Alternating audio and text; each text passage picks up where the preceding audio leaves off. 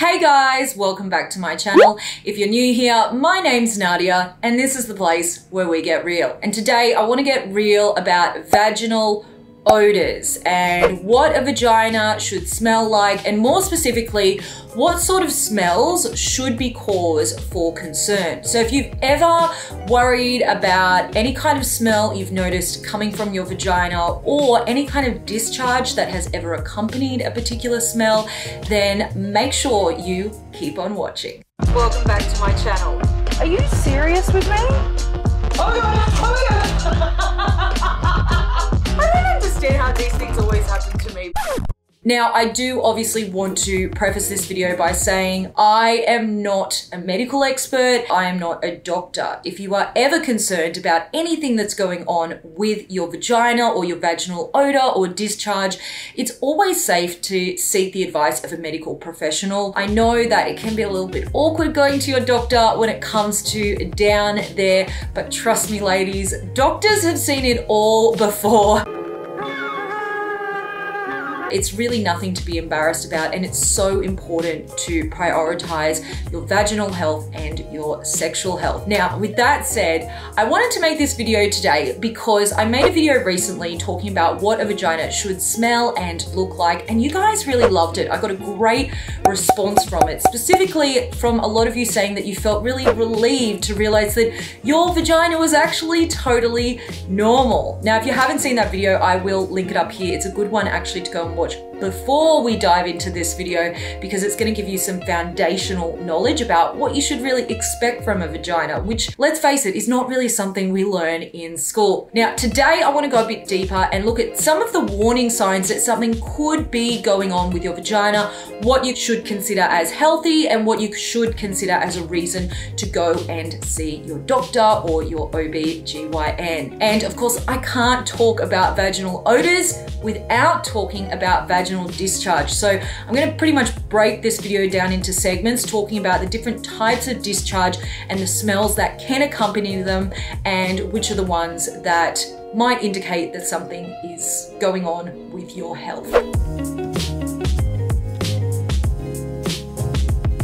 So for those of you that don't know what discharge is, discharge is essentially what you see when you take your underwear off, when you're getting changed or when you're going to the restroom, you'll notice inside your underwear there will be a little bit of fluid. And for some women that can be clear and slippery or it might be kind of more thick and mucousy or it might even be a little bit more on the white and creamy side all of the types of discharge that I just described are considered to be healthy discharge. This is the normal discharge that women experience throughout the month. It comes from your vagina and it comes out of there for a really smart reason. And that's because it's your vagina's way of essentially keeping its pH balanced and cleaning itself out. And this is why I talked in my last video about vaginas as to why women do not need to douche. You do, do not need to be using soaps and deodorants on your vagina because it's already self-cleansing. That is the purpose of your discharge. So if you've ever been embarrassed about having discharge, please don't be because every single woman experiences discharge and it's totally normal. There are a few more suspect types of discharge that you want to watch out for and some odors that can accompany those. We do know that for women, the discharge tends to change depending on where you are in your cycle. So around the time of ovulation, your discharge can get quite slippery and clear and maybe a little bit sticky. Now, of course, that's not a guarantee that you have ovulated. The only way you can know that is obviously to things like checking your basal metabolic temperature and obviously going and consulting an OB/GYN. Now, while a creamy kind of whitish color is totally normal and healthy for discharge. A yellowy colored discharge is definitely not healthy. And if you notice that through the month, your discharge is getting distinctively more yellow in color, and specifically if it is accompanied by a fairly strong and fairly foul kind of odor, that is almost certainly a sign that something is up. It can be a sign of an STI, which is a sexually transmitted infection, or it can be a sign of another type of infection. What's really important is that you go to a doctor and you get it checked out if you do have one of these signs going on. The good news is if it's an STI, the vast majority of STIs are super treatable and they're certainly not something to be embarrassed of. Most people who are sexually active have at some point in their life had an STI in the same way that most people who are socially active have at some point caught a cold or flu. It's really nothing to be embarrassed of. Most STIs can be treated with antibiotics or even antibiotic type creams, and some of them can be treated as quickly as a week or two before you're back to normal health. Now, brown discharge is something that can occur for a lot of women. It's something that I've personally experienced many times before, and that's because you are essentially getting a bit of the old period blood coming out in your discharge. So when blood is really fresh, it tends to be really bright red in color. And then you'll notice when you get your period, as the days go on, your period color tends to go from that bright, vivid red to more of a dark brownish kind of color. And and that's because that blood has been exposed to air for longer and so it's oxidizing and it turns dark. So it just essentially means that it's old blood. It's the last kind of bits coming out and that can be mixed in with your discharge and cause a brown discharge. But if you notice that you're getting it regularly at different times in the month, particularly if you're someone who is older and has gone through menopause where you definitely shouldn't be getting any kind of bleeding at all, it's definitely something to go and see your gyno or your doctor about. And that's because it could be a sign that you have some sort of menstrual irregularity going on that could essentially indicate an underlying health condition.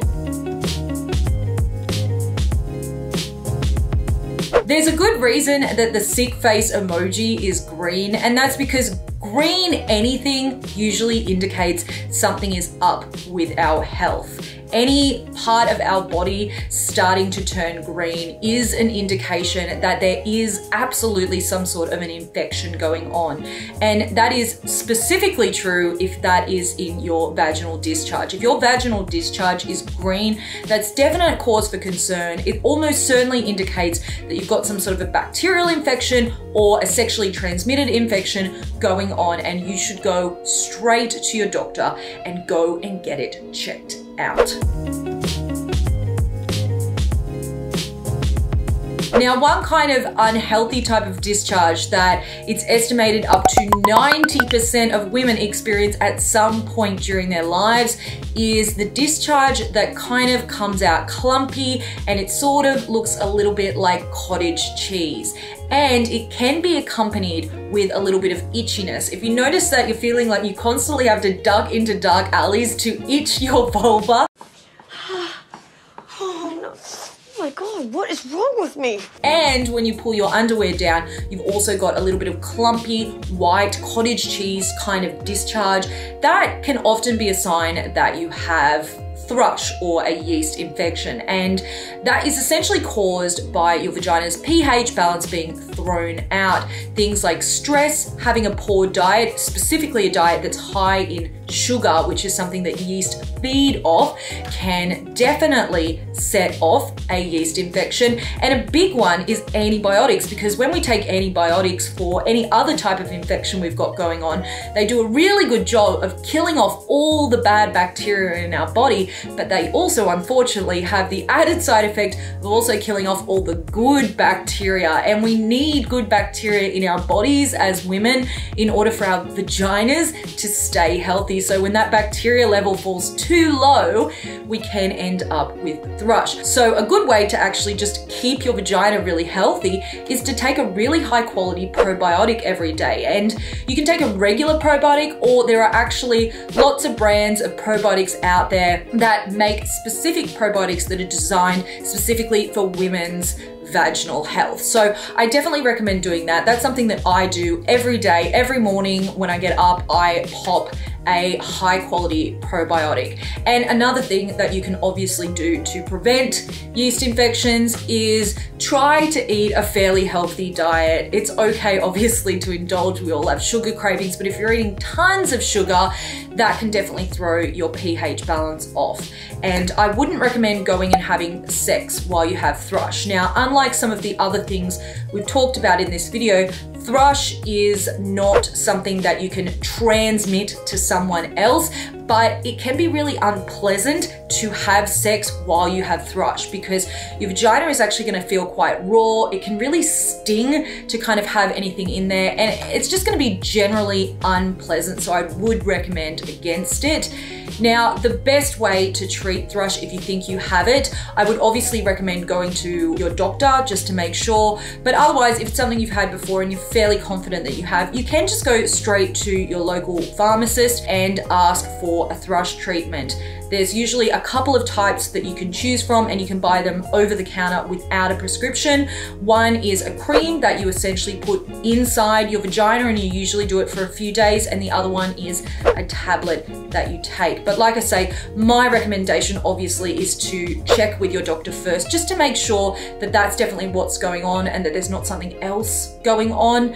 Now, there are a lot of videos about treating thrush naturally.